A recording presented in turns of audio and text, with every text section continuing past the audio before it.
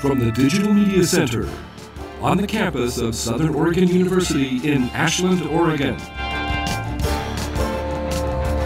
This is Ramping Up Your English, an educational program for intermediate level English language learners. Here's your host for Ramping Up Your English, John Letts.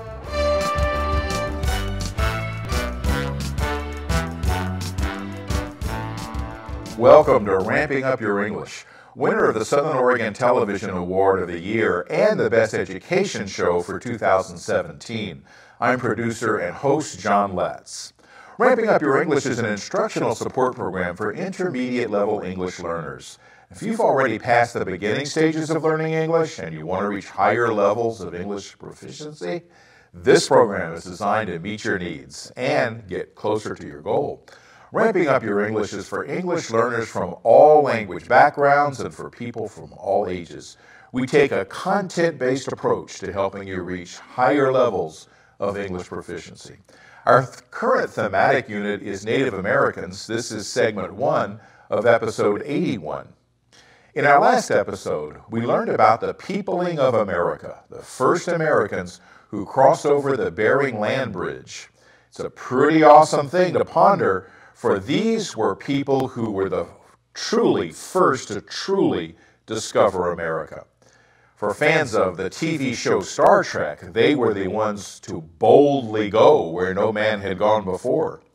Well, I'm sure survival was a struggle, and I don't want to minimize that struggle, but these first Americans had the singular experience of settling areas that had never been settled by people. I can't imagine an adventure that would equal. When we finished episode 80, I related some of the creation myth of the Cherokee people. We left off with a great buzzard crafting the mountains that would characterize the homeland of the Cherokee people. I also stated that in the study of Native Americans, we would encounter many stories that are advantages, that many stories is what I should say, and there are always advantages to listening to everyone's stories. But we should also ask ourselves some questions. Who is telling the story?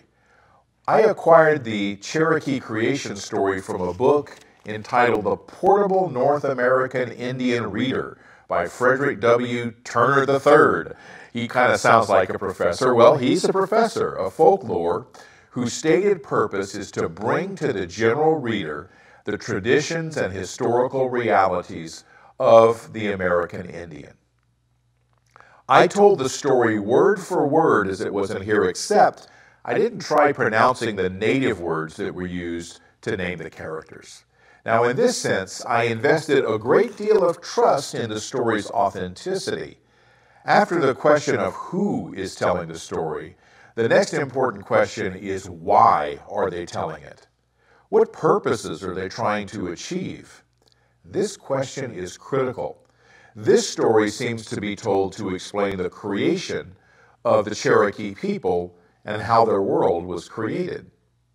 The questions of who and why will be asked repeatedly as we explore the Native American people of yesterday today, and tomorrow.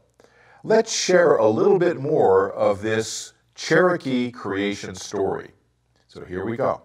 When the earth was dry and the animals came down, it was still dark. So they got the sun and set it in a track to go every day across the island from east to west, just overhead. It was too hot this way and the red crawfish had his shell scorched a bright red, so that his meat was spoiled, and the Cherokee do not eat it. The conjurers put the sun another handbreadth higher in the air, but it still was too hot. They raised it another time and another until it was seven handbreadths high and just under the sky arch. Then it was right, and they left it so. This is why conjurers call this place the seventh height, because it is seven handbreadths above the earth. Every day the sun goes along under this arch and returns at night to the upper side to the starting place. Now, there is another world under this, and it is like ours in everything animals, plants, and people, save that the seasons are different. The streams that come down from the mountains are the trails by which we reach this underworld, and the springs at their heads are the doorways by which we enter it. But to do this, one must fast and go to the water and have one of the underground people for a guide. We know that the seasons in the underworld are different from ours because the water in the springs is always warmer in the winter and cooler in the summer than the outer air. When the animals and plants were first made, we do not know by whom. They were told to watch and keep awake for seven nights, just as young men now fast and keep awake when they pray for their medicine. They tried to do this, and nearly all were awake through the first night. But the next night, several dropped off to sleep. And the third night, others were asleep, and then others, until on the seventh night of the animals, only the owl, the panther, and one or two others were still awake. To these were given the power to see and to go about in the dark, and to make prey of birds and animals which must sleep at night. Of the trees, only the cedar and the pine, the holly and the laurel were awake to the end. And to them it was given to be always green and to be the greenest for medicine. But it was the others, it was said, because you have not endured till the end, you shall lose your hair every winter. And so that's another part of the creation tale of the Cherokee people.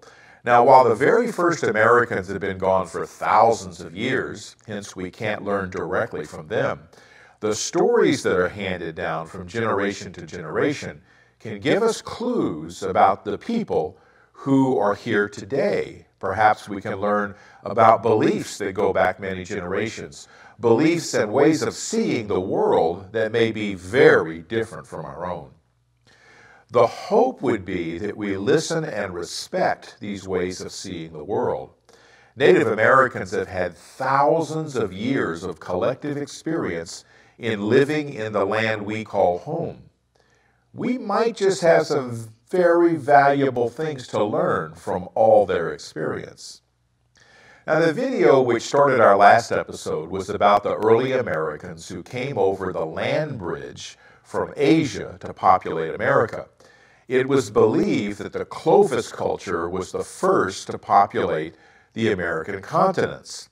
Let's watch this video as yet another story. It's all about the Clovis culture, but the emphasis is on what happened to them.